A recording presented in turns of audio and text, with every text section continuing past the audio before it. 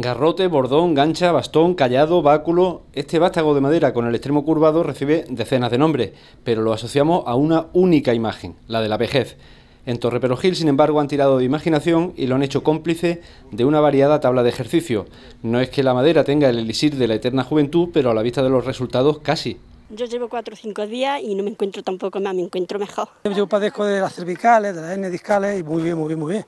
Estoy que me está favoreciendo muchísimo. Bueno, claro, ya llevamos más de un año. Aquí ya no nos duele nada. Pero me duelen mucho las caderas desde que vengo muy bien, muy bien, es verdad. Y, y las flexiones, se da uno con las manos en, en el suelo y estoy muy bien, muy bien.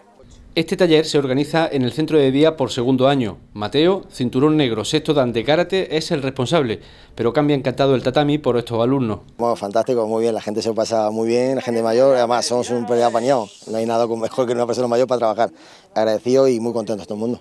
Como ven, los alumnos siguen sus movimientos como les va indicando el monitor. Lo hacen con disciplina, atención y exactitud. Mm, bueno, casi. Intentamos quitar alguna pastilla. Eh, todo el trabajo que hacemos es trabajo articular, eh, trabajo de memoria, trabajo de coordinación, en fin, para que trabaje un poco la memoria y no solamente las articulaciones.